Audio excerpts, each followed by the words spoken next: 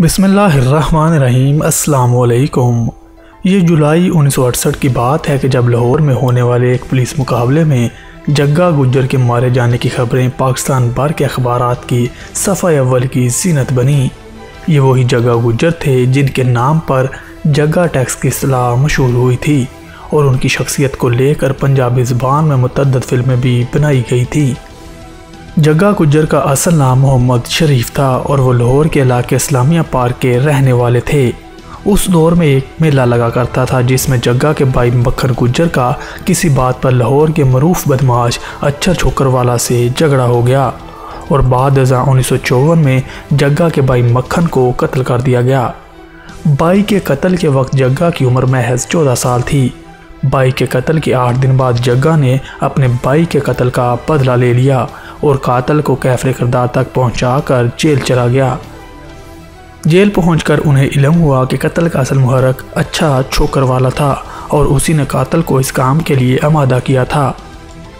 चनाचे जग्गा ने जेल से ही अच्छा चुकर वाला को भी कत्ल करने की मनसूबाबंदी की और उन पर हमला भी करवाया। इस हमले में अच्छा के दो आदमी मारे गए और अच्छा जख्मी हुआ। गवर्नर मूसा खान के दौर में जग्गा गुजर को जेल से रहाई नसीब हुई। जेल से बाहर आकर उन्होंने अपना गैंग बना लिया और लाहौर में कसाई बरदरी से जबरी टैक्स वसूल करना शुरू किया। उनकी बदमाशी का मरकज़ बकर मंडी का इलाका था और वो हर कसाई से एक बकरी की खरीदारी पर एक रुपया वसूल करते थे। किसी में इनकार की ज़रूरत न थी और जल्द ही जगह गुजर के नाम पर यह जबरी टैक्स जगह टैक्स कहलाने लगा और आज भी इस नोयत का हर जबरी टैक्स पाकिस्तान में अमूमी तौर पर जगह टैक्स ही कहलाता है। मोज़ अहबाब मरूफ सहाफ़ी हसन सार लिखते हैं कि जगह था तो बदमाश, लेकिन उसकी यह खूबी से दूसरे गुंडों से मुमताज़ करती थी कि उसके घर शाम को जो टैक्स जाता था, उसमें गरीबों और बेवाओं का भी हिस्सा होता था। उस ज़माने में लाहौर के S S P Haji Habiburrahman के बकौल जग्गा की बदकिस्मती का आगाज़ उस दिन हुआ, जब उनका सामना मजंग में फलों की एक दुकान पर लाहौर के डिप्टी कमिश्नर फ़तेह मोहम्मद खान बंदयाल से हुआ। बंदयाल साहब ने देखा कि फलों की दुकान पर एक जीप आकर रुकी। उसमें से एक शख्स उतरा, जिसके आगे पीछे छः सात मुसल्ह अफराद थे। इस शख्स ने फलों की दुकान का रुख किया और दुकानदार ने बंदयाल साहब को नज़रअंदाज करके इस शख्स को सलाम किया। जग्गे ने अपने मखसूस अंदाज में हाथ लहरा कर जवाब दिया, फलों की चंद टोकरियाँ और शरबत की तीन चार बोतलें उठाईं और अपनी गाड़ी में रख लीं और पैसे दिए बगैर रवाना हो गया। बंदयाल साहब के लिए मंजर नाकबिल यकीन था। उन्होंने दुकानदार से पूछा कि ये शख्स कौन था? दुकानदार ने जवाब दिया कि आप लाहौर के नहीं लगते, ये जगह बादशाह था, लाहौर का असल बादशाह। सारे लाहौर पर इसी का हुक्म चलता है। इस पर बंदयाल साहब मज़ीद हैरान हुए। उन्होंने सोचा कि लाहौर का डीसी तो मैं हूँ, फिर ये बादशाह कहाँ से आ गया? वो घर जाने के बजाय वहाँ से मजांग थाने पहुँचे। उन्होंने पुलिस एहलकारों को अपना तारफ़ करवाया और पूरा वाक़ सुनाया। पुलिस एहलकार खामोश खड़े रहे, लेकिन कुछ देर बाद एस एच ओ ने कहा कि मेरा ख्याल है कि आपको गलत फहमी हुई है। बंदयाल साहब ने कहा कि गलत फहमी की क्या बात है? मैं सब कुछ अपनी आँखों से देख कर आ रहा हूँ। यहाँ गुंडों का राज है। मैं तो सुनता आया था, आज मैंने अपनी आँखों से देख भी लिया कि यहाँ का असलाकम तो कोई और है। एस एच ओ उसी वक्त बंदयाल साहब को उसी फलों की दुकान पर ले गया।